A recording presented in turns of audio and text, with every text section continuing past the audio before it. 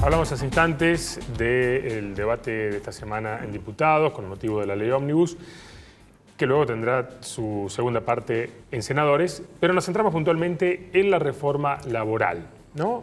¿Cuáles son las implicancias? ¿Qué consecuencias puede tener tanto para los trabajadores como para las empresas, particularmente aquellas que son pyme?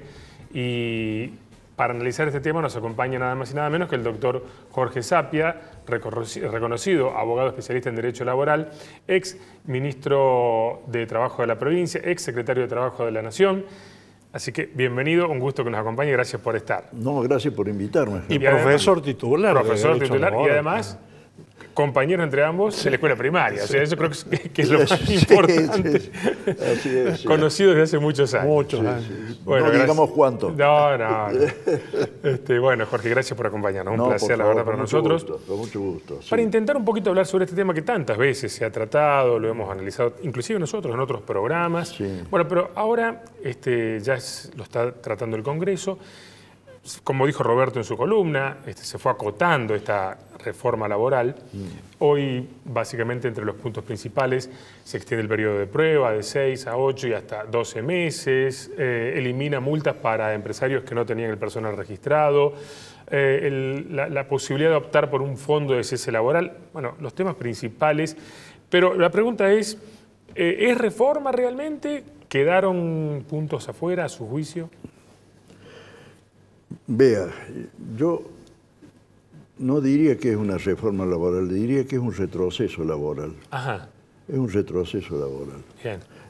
Retroceso desde el punto de vista de, lo que está normado y de lo que viene eh, siendo el desarrollo eh, de las relaciones del trabajo en, el mundo y en la Argentina. las cosas en el mundo van más o menos parejas en todos lados y no ha sido eh, la Argentina ajena a, ese desarrollo, por eso hago esta afirmación. Yo creo que hay un retroceso, hay un, tema que usted no, no, dijo cuando presentó la, temática. Esta, esta, este ingenio que supone que puede haber un, señor que se llama trabajador independiente, que puede tener hasta cinco colaboradores que no son empleados. No hay una relación entre, no, ellos. No hay relación de trabajo. Eso, eso para mí no tiene, no tiene ni pie ni cabeza. O podría decir algo peor, es una, tiene la intención de perjudicar a esos presuntos colaboradores que son trabajadores. En el mundo y en la Argentina, cuando una persona presta un servicio que le aprovecha a otra persona, que además tiene la potestad de darle instrucciones, darle órdenes, y que además eh, eh, el, el que presta el servicio tiene una situación de dependencia económica, acá en la China, en España o en Mongolia Exterior estamos en presencia de un contrato de trabajo. Claro. No, no hay duda, no hay duda. Hay, un empleador y hay un trabajador. El empleador le da trabajo a ese, a ese trabajador, ese trabajador presta su servicio y el producto del servicio que presta, el producto del servicio que presta es aprovechado aprovechado utilizando el verbo aprovechar en buen sentido, no, no en el sentido de ventajear. el que aprovecha el producto de la prestación de servicios de ese, de ese trabajador es el empleador. Cuando ocurre este, este fenómeno del aprovechamiento, Roberto, estamos en presencia de un contrato de trabajo, por, de una relación de trabajo. Si no queremos hablar de contrato porque no no, no ha habido un, intercambio donde las partes se han puesto exactamente de acuerdo con el contenido del contrato, pero sí una relación de trabajo que es una situación de hecho normada jurídicamente. Así es. Entonces, esto me parece que es un retroceso, pero es un retroceso al, periodo previo a la revolución industrial. Esto es una cosa, para mí, eh, eh, creo que no va a resistir el, más inmediato análisis de, una situación judicial. Yo creo que los jueces del trabajo cuando encuentren que hay esto que estoy comentando ahora del aprovechamiento de, la producción, va a decir hay relación de trabajo. Eh, se ha tipificado una relación claro, de trabajo. Claro, se ha tipificado, más allá de lo que diga... Lo que diga, lo que quiera. Claro, exactamente. Entonces, yo, creo que, eso, es muy grave. Otra cosa. Eh, usted dijo, Chapero dijo que cuando presentó la temática que se han suprimido las multas por el trabajo no registrado. Yo no sé si, eh, es, las multas son la mejor eh, opción frente al trabajo no registrado. Creo que por lo menos las multas están exageradas en cuanto a su cuantía. Podríamos haber abierto una discusión sobre si, si es mucho o poco. Pero lo que yo no, entiendo, no me pueden convencer, el, argumento. El argumento es que vamos, vamos a suprimir las multas por el trabajo no registrado para generar más empleo. Entonces digo yo, ¿cómo? Si, si con las multas, que un castigo al trabajo informal, no se mejora la situación del empleo y menos se mejora la situación de formalización del trabajo dependiente, ¿Cómo quitando la multa, quitando el castigo, va a haber más trabajo formal? Me, parece que es un, silogismo que no es silogismo. ¿no? Me parece que, se está hablando sin, saber de qué se está hablando. Entonces, no, no, no, no encuentro el, sentido de esto. Y tampoco encuentro el sentido de, de llevar la, Mm, el periodo de prueba a los, límites que se ha llevado, no hace falta.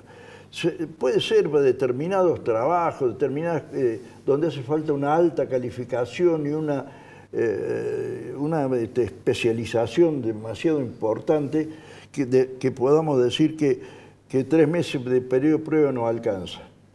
Pero... Ocho meses. un año, un año en un, país donde hay tanto trabajo informal, me suena que es una, abrir una puerta para la alta rotación con el pretexto de la prueba. No me gusta. Peligroso es. No me gusta, no me gusta, Roberto. No me gusta, no me gusta, me parece que es una, cosa que, eh, eh, involucra un retroceso. Yo sí, Roberto. quería hacerte una pregunta, sí. porque me pareció bueno la propuesta que le oí al doctor Rodrigo de Loredo, en el rubro este de derecho laboral, que el gobierno arrugó frente a la CGT, que era el castigo al bloqueo, que me parece grave, sobre todo porque los bloqueadores son la gente de Moya, ¿no? Y después el no hacer opcional la cuota sindical. Bueno, eh, eh, eh, y vuelvo al, vuelvo al mundo, ¿no? Sí. porque además, después de la reforma constitucional del 94, los tratados internacionales tienen... Forman parte de la Constitución. Son supralegales. Así es. Eh, y, los, los convenios de la OIT son este, legislación supralegal para nosotros. Bueno. la, la OIT tiene dicho a través de su Comité de Libertad Sindical, que la huelga es un, eh, recurso legítimo de los trabajadores en, defensa de sus derechos o en afirmación de, un derecho que pretenden se instale. Siempre que no sea violenta, siempre que sea pacífica. muy bien. Entonces, si, cualquier situación que intente este, limitar el ejercicio de la huelga pacífica es contrario a la Convención 87 de la OIT y es contrario al artículo 8 del Pacto Internacional de Derechos eh, Económicos, Sociales y Culturales, el PIDES, aprobado en 1966 por la Asamblea de las Naciones Unidas. Entonces, eh, el, el, hecho de la, de, la violencia, el que no sea pacífica la huelga, cuando ocurre, deslegitima la, huelga. Entonces me parece que eh, no hacía falta establecer por ley que el bloqueo es, delito. Si hay un, bloqueo y, se, se, cuarta la libertad de las personas, estamos frente a, un hecho delictivo que lo resolverá la justicia penal, no la justicia laboral. y respecto de la cuota... Y respecto de la cuota es muy simple. Hay trabajadores que se afilian y trabajadores que no se afilian. ¿No? Pero creo que es forzosa el descuento. No, no, no, la cuota sindical no, no, es forzosa. Es, es, el 1,5%. Es, es, voluntario, no, no. La, la, cuota solidaria es la que vota Ah, sí. Pero el tema, ¿sabes cuál es el tema de, la cuota solidaria? Que los no afiliados gozan de los beneficios del convenio colectivo de trabajo, igual que los afiliados, y no pagan nada. Mm. Entonces, por eso, por el convenio, se establece la, cuota solidaria para que el que recibe los beneficios del convenio ayude a que el que consigue el convenio, que es el sindicato, tenga financiamientos. ¿Sabes cómo le llaman, le llaman eh, eh, en Estados Unidos al, que eh, no se afilia pero recibe los beneficios del convenio colectivo? No, ¿cómo se dice? Pasajeros sin billete. claro. Entonces acá lo que se trata es que los, sindicatos tengan un, financiamiento. Y entonces lo que proponía el proyecto de Loredo era suprimir eso. y entonces yo decía, muy bien, si un trabajador no quiere afiliarse y no quiere que le, pagar la cuota solidaria, que no cobre el salario del, convenio colectivo de trabajo, sino el salario mínimo vital y móvil. Tiene su lógica. Tiene su lógica, ¿no? Bueno, Jorge, eh, gracias por acompañarnos. Ya estamos sin tiempo, quedaron algunas preguntas más por hacer. Eh, es un placer que, nos acompañe en el programa y sin duda seguiremos hablando porque este tema va a seguir dando que hablar. Bueno, con mucho gusto. gracias, por acompañarnos. Gracias por invitarme.